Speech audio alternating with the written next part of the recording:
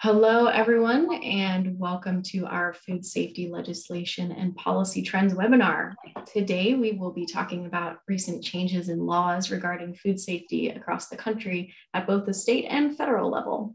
My name is Laura Wilde, and I'm a Senior Program Analyst in Food Safety for the National Environmental Health Association.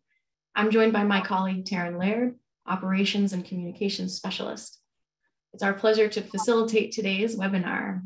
Please note this webinar is being recorded. If you are not okay with it being recorded, you may disconnect at this time. We are pleased you have joined us for our webinar today and hope you take a moment to visit some of our web pages. We work to provide our members at the environmental in the environmental health community educational tools and resources to support the workforce.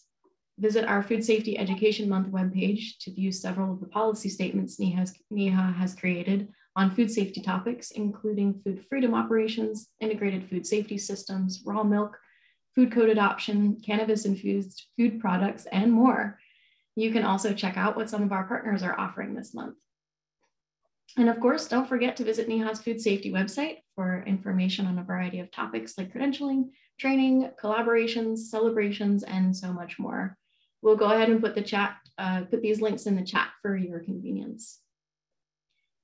This free webinar is proudly hosted by the National Environmental Health Association. If you're not already a member, we hope you'll consider joining our vast network of environmental health professionals. We provide opportunities for training and education and have some of the most well-respected credentials in the industry. With our main office in Denver, Colorado, and our second office in Washington, DC, we make networking and connections easy. We're a group of over 6,500 environmental health professionals. We hope you'll consider joining us Visit our website at neha.org for more information on membership, education, credentialing, and networking. A bit of housekeeping before we hear from our speaker today. All attendees are in listen only mode. As a reminder, this webinar is being recorded. Throughout the discussion, you may submit any questions you have in the Q&A box, and we'll do our best to answer as many questions as we can after we hear from our speaker. I am pleased to introduce you to our speaker today. Let's learn a little bit about him before we dive in. Uh, today's speaker is NEHA's very own Doug Farquhar. Doug is an attorney with 30 years of experience working with policymakers on environmental and health issues. Primarily working with state legislatures, he has testified 60 times before legislative committees in 36 states, in addition to consulting with state agency staff in every state on enlightening state policymakers. He has written books and articles on state legislative policy and was a columnist for NEHA's Journal of Environmental Health. Doug Farquhar directs government relations for the National Environmental Health Association. Formerly, he was the program director for environmental health at the National Conference of State Legislatures, overseeing the product project and providing overseeing the project and providing policy outreach to the nation's 7,383 state legislatures and their staffs. During his time at NCSL, he established cooperative agreements from federal counterparts at the US Housing and Urban Development, Centers for Disease Control and Prevention, the US Food and Drug Administration, the US Environmental Protection Agency, and the US Department of Agriculture. He received a Juris Doctor from the University of Denver, Denver School of Law and his BA in government from the University of Texas, Austin. He is an adjunct professor at the University College at the University of Denver and is an affiliate professor at the University of Washington School of Public Health. Welcome, Doug, to our presentation today. Thank you so much for being here. The floor is yours. Thank you very much, Laura. I appreciate that. Um, if I share my screen, and please give me a thumbs up if you can see that. Excellent. Um, Okay, that sounds, looks like we are ready to go. Um, a few points I want to bring up here um, regarding uh, the, the uh, presentation is that um, when it comes to government affairs, um, we really have it broken down in what's going on in Washington at the federal level, what's going on in the states, and then what are going on in the locals. Um, everybody has a role to play in food safety, which makes uh, which makes it more challenging and more rewarding to address food safety issues. Congress, with their activities, generally the number one thing they do is fund federal agencies. That means, for the most part, under food safety, it means the funding of FDA and the funding of USDA. Um, FDA, as many know, that funds a majority of our food safety activities at the federal level. USDA funds a majority of the activities regarding meats and uh, uh, uh, products, meat products that fall under their jurisdiction. They both are basically equally funded um, to carry out these activities, uh, even though uh, FDA has a, water, a wider jurisdiction to cover. Um, that does not mean that Congress does not have a role to play in policy regarding uh, regarding food safety. Um, they earlier this summer we had a congressional hearing that FDA attended where Congress uh, questioned their role and their activities regarding food safety, and it really put a spotlight on the agency and how effective it has been. So um, the Congress really also acts as a watchdog as well as a funding mechanism to ensure that the um, to ensure that the agencies are carrying out the missions they have been tasked to do. FDA and USDA's tasks under uh, food safety are enormous. They are expected to make sure that every meal in this country, every uh, food, every piece of food product in this country is safe to consume, which is an enormous task to undertake. Um, Congress, though, does have professionals. Not only is Appropriations Chair Rosa DeLauro very interested and very uh, concerned about food safety, um, Congressman Rob Wittman is also a former uh, food safety inspector for the state of Virginia. He is the one of the only uh, members of Congress who um, has earned his REHS credential and uh, is very, very familiar with uh, the foods, the parameters of food safety, what needs to be done. He joined us with a uh, at a tour of a Harris Teeter store in uh, uh, Williamsburg, Virginia, uh, on last April, and I was very pleasantly surprised on the level of depth of his knowledge on food safety. He understood the importance of retail, the importance of the supply chain, the importance of getting a product to the market quickly and to be able to get it off the market when it had spoiled. So um, that is a really good uh, uh, set of knowledge to actually have in Congress. So we're very fortunate to have him uh, serve in, uh, in Congress. Um, and but with that overview about how this operates, I really want to kind of get into a discussion about what's going on with the uh, uh, with with the states. So uh, if we can move forward here. You're going to forgive me, it is not moving forward at this point.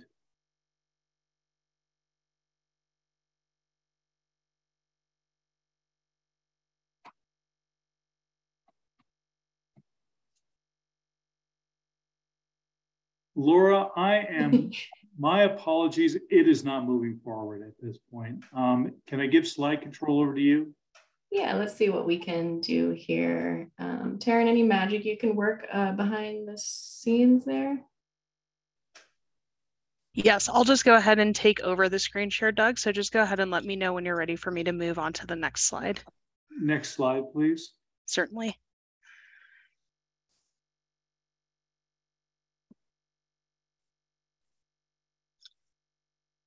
And are you still seeing my screen? Um, no, this is just my screen now. Okay. Excellent. I'm, my apologies for that. We had a little bit of a glitch there. Um, but let's talk about what's going on in the States. And the reason I highlight state activity so extensively is because that's really where the policy is made. It does not, um, it can emanate from Congress and it can emanate from the agencies, but primarily the day to day activity is happening at the state and local level. So when we see states introduce bills, um, that's where we're going to see the most innovative activity come out, the most um, ambitious activity to come out. Uh, things really do emanate from the states up to the feds and not the other way around. In the 2022, I'm sorry, the 2021 2022 legislative sessions, um, the reason I couch it that way is um, they states don't all uh, uh, serve in session for the entire time. Um, but during that time period, every state legislature met. And within that, every state introduced some bills regarding food safety. Uh, the ones I tracked, the ones NEHA tracked, were, were 348 different bills regarding food safety. And of those, 69 were passed into law. Every state legislature introduced a bill uh, related to food and food safety. And in 38 states, it was those 38 states that enacted the 69 bills we talked about. Therefore, many states did not, 12 states did not, to be exact, but uh, 38 states did. And of those states, California and New York were the ones that enacted the most. And as you can see here, certain states are very active. Uh, New York with over 60 bills related to food safety, and Minnesota and California over 45 bills uh, related to food safety. Um, the foremost issue that we saw was retail foods. 53 bills were introduced and three bills passed. Uh, bills related to meat were the second most popular, which of course is not under the FDA jurisdiction, but the USDA jurisdiction, meaning that there were issues there that USDA does not address that the states felt necessary for them to look into. Food freedom bills, this is I'm including cottage foods, micro enterprise kitchens, any activity where it's calling for the deregulation of food safety oversight. They were the third most popular bills. We saw 45 bills introduced and nine enacted in the states. Um, other popular issues included just general food safety, uh, issues on nutrition, where we saw 18 bills introduced and one passed, restaurants and food facilities, where we saw 26 introduced and five passed, food deserts, which uh, I am finding a very fascinating issue because it was um, not on the agenda for legislatures 10 years ago. This year, we saw 30 bills introduced and two passed. And mobile food trucks, six bills were introduced, however, none were passed. Taryn, can we have the next slide, please?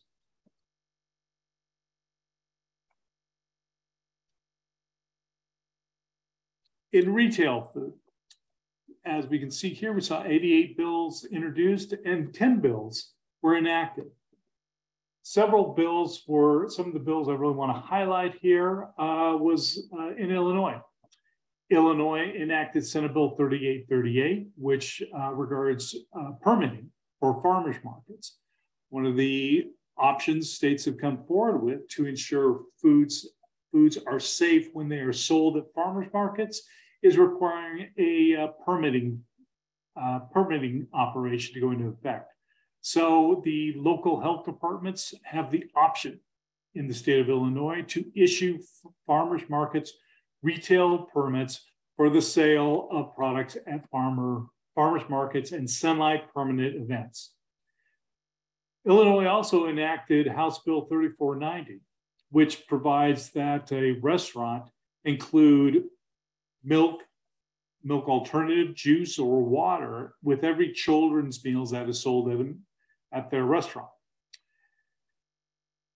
It, Mississippi also introduced legislation that they enacted, House Bill 1132, which uh, uh, relates to private food service contracts that has been provided for under the Department of Finance and Administration.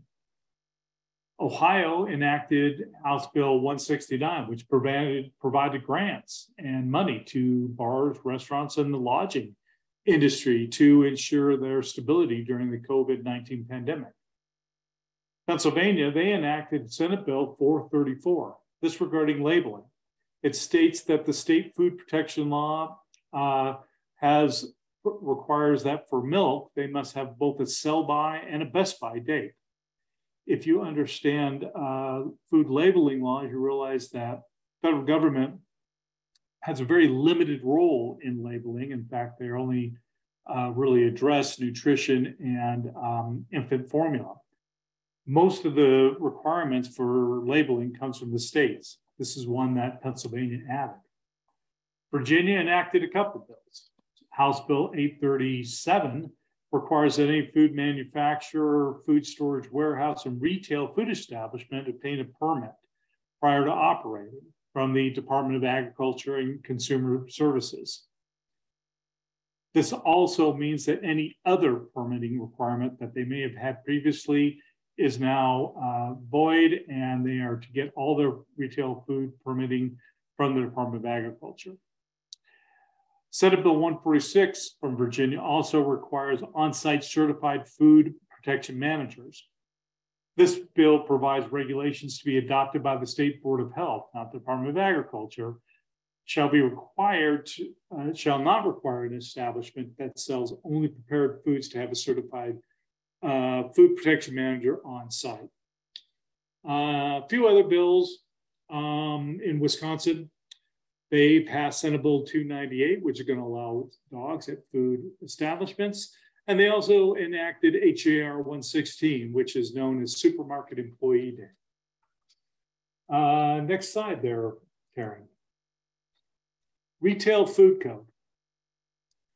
Um, even though we saw several bills introduced, over 40 bills introduced in the states, very few were enacted, and none were all that meaningful with the exception of California. The California uh, bill that was introduced, AB 831, uh, made some substantial changes to the California Retail Food Code, including it allows for limited food preparation at charitable events.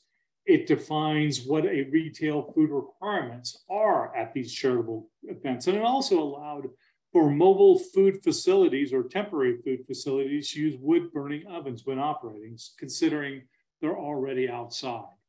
Um, it allows for satellite operations, such as guacamole stations, which are very popular in the state of California, to have a food service operation inside food facilities like grocery stores. It uh, authorizes the use of double gloving uh, in the industry and it also requires food facilities that packages potentially hazardous food using cook chill or sous vide process to meet the requirements of the FDA food code. It is a very extensive law that addresses many things. One final thing that I'm going to highlight here is they do add language regarding cottage foods. Within the uh, op within the cottage food operator, they must include an advertisement that the county of approval that permitted the operation um, has a registration number on there. That, that there's a statement regarding the food that the food is made in a home kitchen or repackaged in a home kitchens.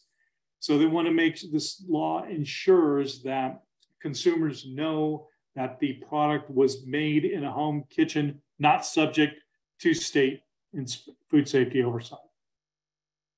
Other bills I highlight here is New York's AB 10607, which establishes a food supply working group. North Carolina House Bill 735 authorizes the Commission of Public Health to adopt rules incorporating the most recent versions of the FDA Food Code, um, which is a, uh, a carry on of an extensive effort over the years for North Carolina to adopt the most recent versions of the food code. So they are for, so the state is always up to date on the on their food code provisions. Um, and New Hampshire, Senate Bill 133 establishes program rules within the Department of Health and Human Services for sanitary production and distribution of food. Next slide, please. Food freedom, our favorite issue. Um, I can't tell you on how fast this has really grown from a point where we uh, were, were reacting to very small changes in food laws that gave uh, certain exemptions to um, food operations from uh, food safety oversight to a situation where now every state has some sort of manner where you can sell food that has not been overseen by a, a state inspection service. Um, for this year, we saw 45 bills introduced and nine were enacted into law. This brings us to the point where 32 states have an opportunity to uh, sell uh, homemade food without any sort of state inspection. Um, and of those 25s do not require licensing, permitting, or registration of these home-based food operations. So in half the states out there, you can uh, sell food that has really no oversight whatsoever. On the other hand, we have six states, plus the District of Columbia, that impose extensive inspection and permitting requirements before anyone can open any time type of homemade food business, no matter if there's a major or minor uh, uh, health risk there. This means that not only potentially hazardous food, but also non potentially hazardous food must undergo these uh, requirements. Um, also, 19 states and the District of Columbia require recipe approval or laboratory testing before selling at least some homemade food product. Um, but even where the state is permissive, as in the 29 five states that we mentioned, the local ordinance can restrict or outright ban a homemade food business or a cottage food operation if it uh, if it is legal elsewhere in the state. However, 15 states uh, expressly preempt city and county um, jurisdictions from imposing additional requirements on homemade food or food or cottage food operations. Regarding the bills that were enacted this year, um, a few that to highlight is South Carolina's Senate Bill 506.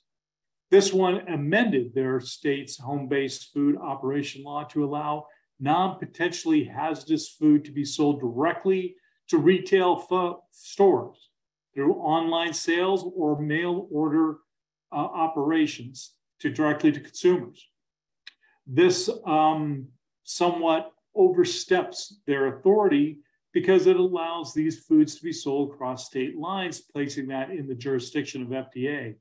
However, they have put these, um, South Carolina has put this ability into law, so the state of South Carolina cannot enforce cross state sales of these uh, cottage food operations.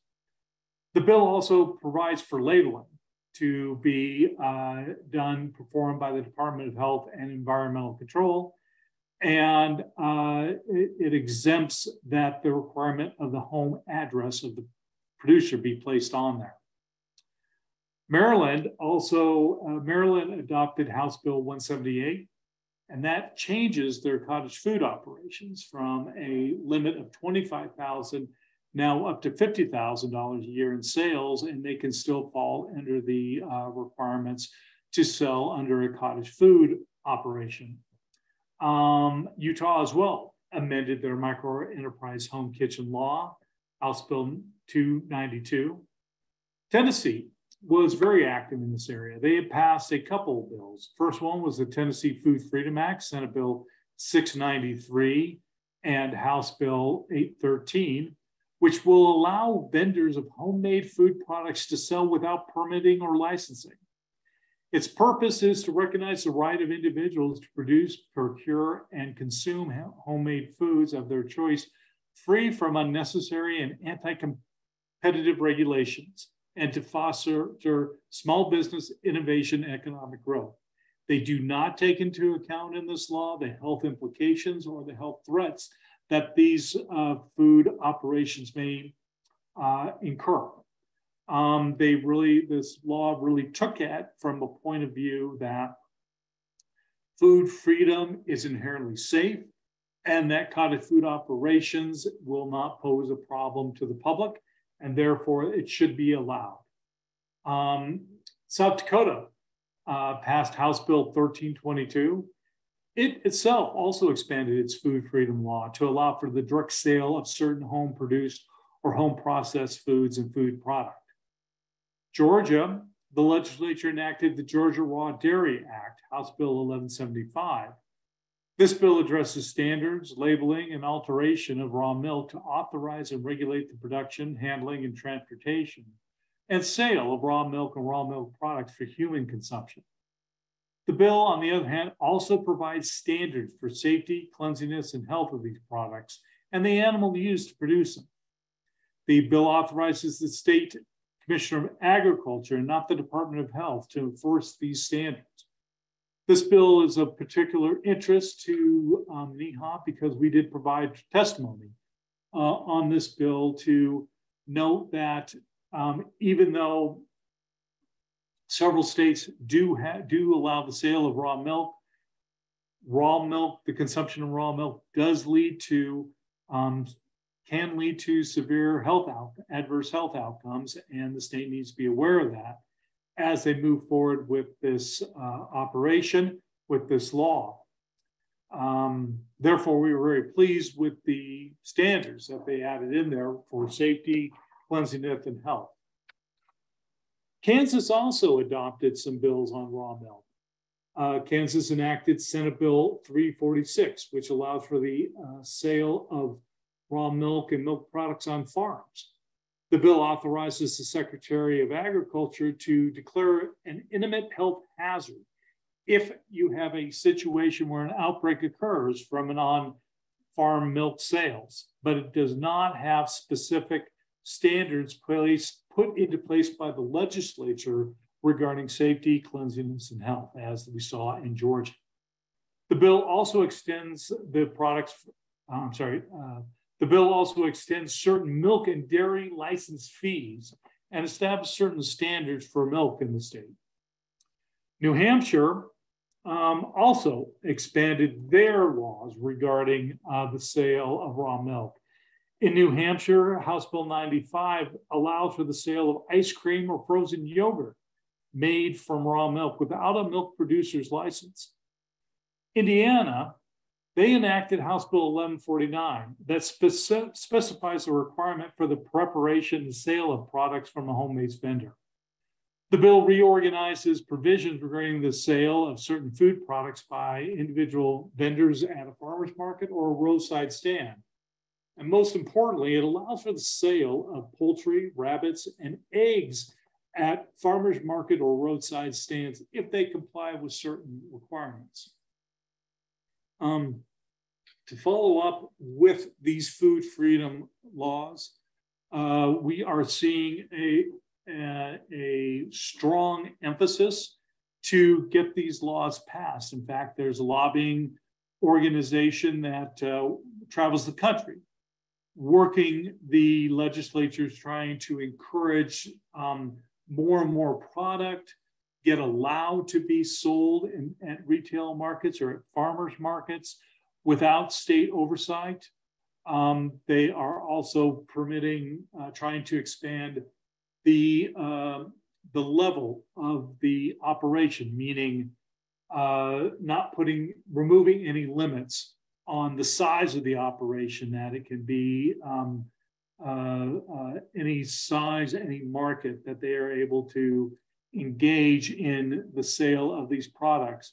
They are also engaged in removing any labeling requirements that uh, may occur. And they are not limiting themselves to non potentially hazardous food. We're not talking situations of cupcakes and cookies. We're talking situations of raw vegetables, raw tomatoes, um, uh, salsas, um, uh, also meat products. This, uh, the, the food freedom law in uh, several states now, including um, North Dakota, Indiana, and uh, Wyoming, well, you can buy uh, uninspected poultry products. In Wyoming, it's up to a thousand. If the if the producer produces a thousand head of poultry, they can sell that without any oversight uh, and directly to consumers. Um, you also have you also see that to expand to other products, including um, um, wildlife that may be um, harvested or um, uh, operations that are um, more localized in nature uh, and scale.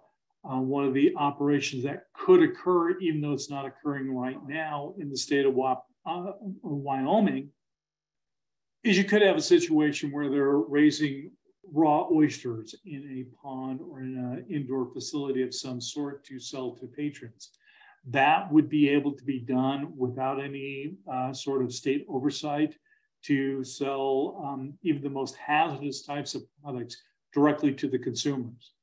Um, the response I have often heard from legislators uh, is that we've had this in place for 10 years and we have not had any sort of um, uh, outbreaks or any sort of problems occur.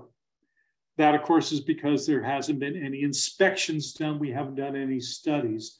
All the studies we have seen regarding foodborne outbreaks coming from the CDC were done a good 10 years ago before these laws went into to place.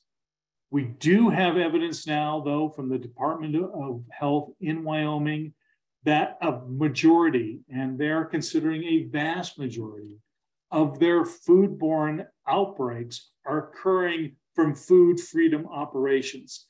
This hasn't allowed them to scale back these operations, but at least now we do have data that shows that food free freedom operations do lead to an increase in foodborne outbreaks.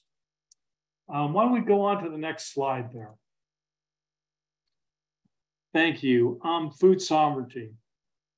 I often bring this bill up and the state of Maine up where I get um, most fearful of where I think uh, outbreaks are going to occur. Maine has been probably even as aggressive, if not more aggressive, than the state of Wyoming regarding their food freedom operations. Uh, in the state of Maine, they call it food sovereignty. They couch it in a little bit different manner. They do not uh, put forth to state that this is a, a, way for consumers to get the products, but more this is a right that individuals have to produce food in the manner that they feel is best. And this law, um, the way they couch it, does not directly have the state itself preempt locals, but rather allows the locals to go ahead and uh, create any sort of retail sale of food products um, without any sort of state oversight or any sort of state inspections.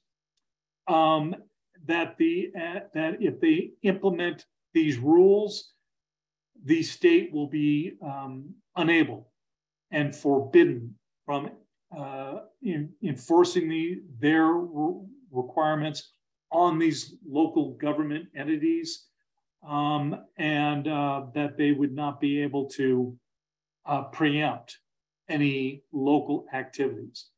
What this means is that if a fisherman comes in off the uh, off the sea and wishes to sell raw oysters, um, clams, any shellfish, any seafood, directly from their uh, uh, boat directly to a consumer, they'll be able to do that. There's uh, there there would be no way for the state to put a stop to that. They have also um, uh, emphasized this and galvanized this in their state constitution. The Food Sovereignty Act, Act is also placed in their state constitution, which is going to make it extremely difficult for the state to turn around and repeal um, any sort of activity or perform any sort of state oversight of food safety um, in their uh, in the state if a local government wants to promote a food freedom or a food sovereignty or a cottage food activity. Uh, next slide, please. The reason I tried to highlight uh, food deserts is because I, I found this a particularly interesting issue. This was something that I saw no legislation on back in 2010. In fact, I uh, was uh, working with uh, a certain um, foundation back then, and they were trying to promote the, the issue of food deserts and trying to uh, ask how many states are out there being very active um, to combat food deserts. And as I did my research of state legislation, I found no states had looked into this, no states had passed any bills. In fact, no states had even introduced anything which would look at this issue. So since that time, um, I have noticed, I've kept my eye on this, and I've noticed that the um, issue has uh, emerged in many states. In fact, we saw 12 bills on this introduced in 2022. And in fact, four bills, um, well, in fact, five bills, if you want to consider uh, what was done in Maine, were enacted. Um, in Arizona, they passed Senate Bill 1845, which deals with nutrition assistance and uh, allows for an expanded use of their SNAP program to address situations where you have lack of uh, fresh produce or fresh um, uh, fresh greens in uh, great, you know, large rural areas of the state. Even though, and it's part of the irony of it, even though uh, most of our fresh produce does come from uh, um, uh, from parts of Arizona nearing Yuma uh, area, we also have great areas in the northern part of the states or on the tribal lands where you, it's very, very difficult to get fresh fruits and vegetables. So Arizona sought to address that. Georgia went even further. Georgia Senate Bill 396 is the Georgia State Nutrition Assistance Program is going to be renamed to the Georgia Grown Farm and Food Bank Program. Uh, this bill is going to uh, rename the program. It's going to require food procured pursuant to the program to be Georgia grown. It's also going to require an annual reporting to identify how much of the uh, Georgia grown food is being supplied, uh, which farmers are supplying those foods to the SNAP program. It's also going to authorize persons who provide these services um, to provide it to the Department of Health, to, to allow the Department of Health and other such entities to receive these foods if the food is qualified, if the uh, producer is a qualified recipient. Um, so it's a very proactive effort. It's a very novel effort to encourage the use of and the procurement of locally grown produce. Um, and it's really going to put a strong change to the Georgia SNAP program. Um, this is not the direction that USDA is recommending, but it's direction that the Georgia legislature sought to go. Um, other food desert issues, Maine they enacted House, uh, House Bill 503, which supports family farms and seeks to reduce food insecurity, meaning allow um, locals to produce, grow their own food uh, for, their, for the sustainability of their own community. New Jersey Senate Bill 3945 establishes an office of the food insecurity advocate New York AB 10607 establishes a New York food supply working group to make sure that adequate food is available throughout the state. Next slide, please. Um, cannabis. We could go on for a long time about cannabis. Uh, where I really want to address um, regarding cannabis is where it affects cannabis in foods. Um, one of the, the, the most important thing for us is that cannabis is not smoked, it is not um, used in uh, oils, it is not used in liquids, it is used as a food product. That's the number one way people are getting their uh, cannabis uh, in this country. And uh, therefore, it's cannabis in foods that is going to be the big issue for the states to address in the future. The reason I put forward that the states that are going to have to address it is that FDA um, does not address this issue. This is out of their bailiwick. They're not allowed to it. It's still cannabis is still a Schedule One drug, so they are really unable to provide the research, the data, the support that is necessary for state programs to figure out what should be acceptable or not acceptable in their state. Because of that, uh, cannabis and foods have been an active issue within the states. Nine bills were enacted this bill regarding cannabis, and one deals with food. California Assembly Bill 2155. This um, bill will define the term of cannabis beverages, meaning how much cannabis, edible cannabis, is going to be eligible to be used in a beverage. The Food and Drug Administration um, also addresses hemp. They will recognize hemp derived cannabis ingredients in products if it has a less than a 0.3% dry weight of THC or CBD. If it's in that, they will call it generally recognized as safe and they will allow the hemp to be used in, um, in those food products. California has probably been the most proactive on this area. It does, it has taken steps um, to allow for CBC, CBD to be approved for use in food and beverage, beverages. They have regulations to that effect. Um, so they have the most comprehensive programs, but that still leaves another 46 uh, states that do not have any, I can't say that are not as proactive as the state of California regarding the sale of cannabis and food. Next slide, please.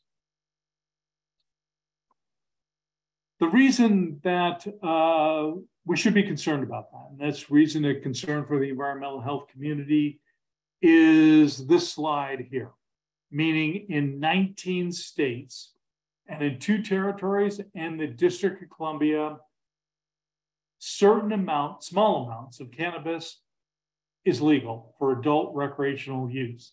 That means that they are able to use it and sell it within gummies, within candy bars, within brownies, within uh, many food products, which is the most popular way to, to receive uh, to receive this uh, product.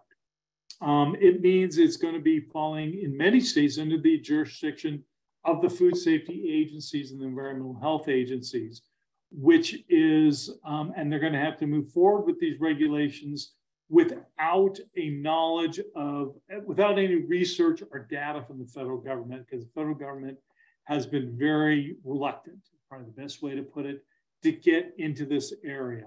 So therefore, um, the states are very much on their own. Uh, certain states, Colorado and Washington, have been the most, um, has had the most experience with this because they've had their this situation being able to sell recreational cannabis for the longest. Um, but California, as I said, is probably the most progressive in this area and have the strongest regulatory uh, uh, requirements for the safe sale of uh, of uh, uh, food cannabis and food products and beverages. We're down to now three states Idaho, Nebraska, and Kansas, where uh, there's no legal way to purchase uh, cannabis. South Dakota was another holdout state. They changed their mind this year when a citizens' initiative uh, was enacted requiring the sale of uh, cannabis. In a majority of these states, the um, cannabis has been, recreational cannabis has been adopted via uh, citizens initiative, meaning a petition It's gone around the state legislature. But certain states, uh, it has been done via the state legislature, um, which is um, a very, you know, rare way for it to do. A vast majority of the states, it is done by the uh, by a citizens initiative. That's what occurred in South uh, Dakota. They passed a constitutional amendment A by 54%. It was uh, it's it was uh, challenged in court, but um, um, it still has a certain modifications there that allows certain sales of cannabis in the state. Um, and the interesting thing is, in all these states, in the 47 states where you can buy some sort of cannabis, it's still illegal under federal law. It's still a Schedule One uh, illegal substance. That's the overview of cannabis in this country, um, and we're uh, it's still going to be a major problem for some years to come. Um, not only because it's going to be difficult to regulate, but that every state has their own uh, direction and their own requirements for regulating these products. For us, the hassle is going to be that it's going to be in foods and beverages.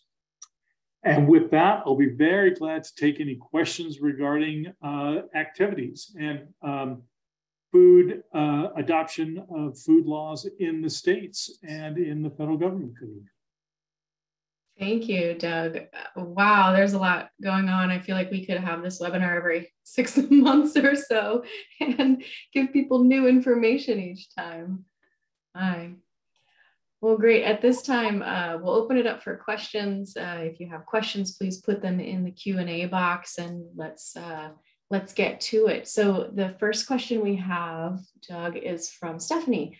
Um, she's uh, curious about um, the Pennsylvania bill. Uh, early on in your slides, you talked about the Pennsylvania bill that was introduced. So her question is, curious if the use by slash best by date for milk in Pennsylvania bill was spearheaded by food safety experts or by legislators? Well, um, I'm not, I'm going to say neither. It was probably spearheaded by a certain lobbying organization uh, that are out there, which means uh, you don't know. I don't know which interest really pushed it. I don't think the dairy lobby was the one that pushed it. Um, the dairy lobby has been very proactive in many uh, any issue dealing with dairy, especially raw milk. This one generally comes from consumer safety groups, so that's where I'm assuming that the legislature got the prompt to go ahead and enact this bill. Got it. Thanks. And speaking of lobbying groups, is there a particular entity or entities um, or a lobbying group that is pushing this food freedom movement that's been seen nationwide? That's from yes. James. oh. The short answer is yes. The second short answer is extremely well funded. Um, and hopefully, this is not going to be a problem, but it's known as the Institute for Justice they are a libertarian think tank that is supported by the Koch brothers. So that's the reason they have uh, funding available to send lobbyists out into these states and to get these activities um, adopted by, uh, by state legislatures. All right, let's um, stay on point with food freedom for a moment. Question from Justin. Even with the concerns of food freedom, are there any states that are doing it the right way um, that other states could look at? Do you know anything about that, Doug? Well, certain states do things, um, I, I, I, would have to say, very intelligently. Um, with Wyoming and North Dakota and with Maine, these blanket exemptions are just not healthy. They're not a, a good approach to take because it just exempts everything. On the other hand, Texas um, surprisingly has been very smart about th- their food freedom efforts in the sense that when they, the first bill they passed was known as the cupcake bill. And the bottom line was this was a non hazardous product. And so the legislator said, well, we won't exempt it. But if the um, producer takes food safety lessons. They learn how to prepare these products safely by the Department of Health or to the Department of Agriculture. Then we're going to give them an affirmative defense in case uh, a foodborne outbreak does occur and it's linked back to them. They can at least go to the judge and say, I was trained, and it gave them some protection. Um, they are also have some bills recently, and I mean these past few legislative sections sessions that puts more um, oversight regarding farmers markets. Much of this activity regarding food freedom is all stems from the explosion of farmers markets in this country. Beforehand, you had to go to a retail store, and there were certain protections in place before they could sell the product in the, uh, out on their shelves. Farmers markets don't have those protections. And by um, codifying those lack of protections at farmers markets, it ex- spreads it. Texas did take a look at that and say, we want to make sure we don't want to have to close down these farmers markets. So let's make sure that we have protections in place that make sure that you can still, st- still sell your product, but let's be smart about it. Um, another state I'd like to highlight would be Michigan. Michigan uh, worked with their Department of Health to say, look, we're going to allow certain foods to be sold without state oversight. Work with us on how's the best way for us to do that. And even though the department was not happy about allowing this to occur, it, they were able to get some protections in there that help limit and scale back any sort of foodborne outbreaks that may occur. Thank you, Doug. Let's um, let's find another question here. Um, lots of questions on food freedom and uh, home operations. So um, here's a question from Vince, specifically about homemade food. Would zoning or home insurance laws prevent homemade food businesses from operating? You know, this is one of the things I've been curious about myself, which is if you're selling something out of your house, what is your insurance company going to do? What do they think about it? And um, even you know any of these requirements I have seen regarding home-based operation, I don't see anything in there saying the insurance company must cover this activity. My assumption, because insurance companies are extremely intelligent and they know they're very effective in not paying out anything that they have figured out some way uh, to work with their state insurance commissioners to say, we don't cover these types of operations. Um, I don't have that down for a fact. That is a research project I would love some graduate student to delve into um, because I, when I've looked at this regarding other environmental threats, I have seen the insurance industry be very, very aggressive in making sure that they are exempt from any sort of potential hazards that that uh, could occur and could you know in could lead to an incursion of them having to pay out. So um, that is something i really am expecting uh, that would be a real major issue if we really looked into it because um, if they're you know if you're selling this product there's no state oversight kids get sick, which we know they do, the only person you can go back on is the home producer. And as you know, um, that would pro- that would easily bankrupt any individual who's trying to do produce something out of their house. That was a very good question. Thank you. Uh, we have another question from Emily, kind of in the same vein here. It might be a little bit outside of the scope, but we're food safety professionals here, at least I am. So let's see if we can't answer this next question. Um, the question is, can you share some more information about the link between an increase in foodborne illnesses and food freedom laws? Has that data been published? Um, yes, no it has not been published in a manner that I think you would hope for, meaning something in some sort of formal publication that I have not seen. This is um, mostly anecdotal evidence that we received from the Casper newspaper. Um, Casper, Wyoming reached out to the Department of Health and uh, in a discussion regarding food freedom. And the Department of Health said, this is where we're finding our problems. Um, this is where the issue is, is in food freedom operations. but I wasn't, we haven't seen that article go into any sort of research, um, which is desperately needed. But um, we haven't seen CDC update their food safety research data. And the state of Wyoming has had very, you know, state of Wyoming is very limited to start with.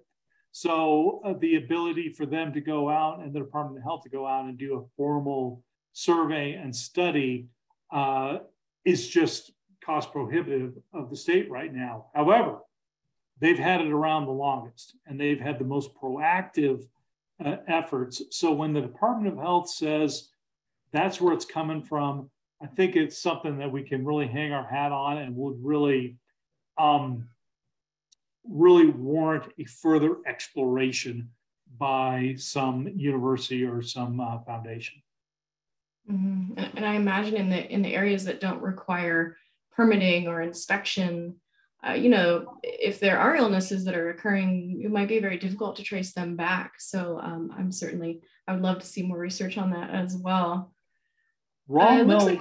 we, we do have we do have research regarding raw milk, and we have had that come forward where we have explored the more liberal and more lenient raw laws allowing for the sale of raw milk and increase of, of outbreaks related to the milk products.